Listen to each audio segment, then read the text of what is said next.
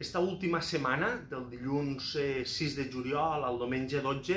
la regió sanitària de salut aquí a les Terres de l'Ebre ens ha informat de que al nostre municipi hi han 7 casos positius. Eh, D'estos 7 casos també ens han informat que n'hi ha 6 que eh, pertanyen al mateix entorn, al mateix nucli, i que eh, el, la font de contagi eh, va ser el, el brot del Perelló. Per tant, eh, tenim una situació eh, que està controlada, de fet, eh, tots aquests eh, set casos, més tot els seus eh, contactes directes, estan eh, rebent atenció eh, eh, mèdica i seguiment eh, en aïllament domiciliari. I eh, és per això que eh, vull eh, demanar a la ciutadania de la Ràpita eh, tranquil·litat i serenitat eh, per part del Departament de Salut, per part dels, eh, dels, dels tècnics de salut i també, sobretot, per part de tot l'equip humà eh, que tenim al cap de la Ràpita, s'està fent el seguiment de tots aquests casos per anar eh, precisament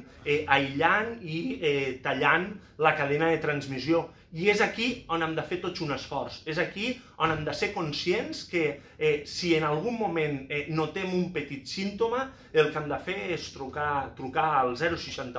eh, informar de la nostra situació i eh, automàticament s'activarà tot el protocol eh, sanitari necessari per a tallar aquesta eh, cadena de transmissió. Ho veiem, ho veiem que és molt fàcil la transmissió de la Covid-19. Ho veiem que eh, a partir d'un brot eh, puntual eh, acaba eh, fent taca d'oli i per tant hem de fer tots els esforços per a eh, poder tallar aquesta cadena de transmissió. I és per això que és imprescindible i necessari que tothom tinguéssim en tot moment present el fet de les tres mesures, distanciament social, mascareta eh, d'ús obligatori en tot moment i eh, també la higiene de mans. D'esta manera és la millor manera per a controlar eh, la, la evolució de la, de la pandèmia.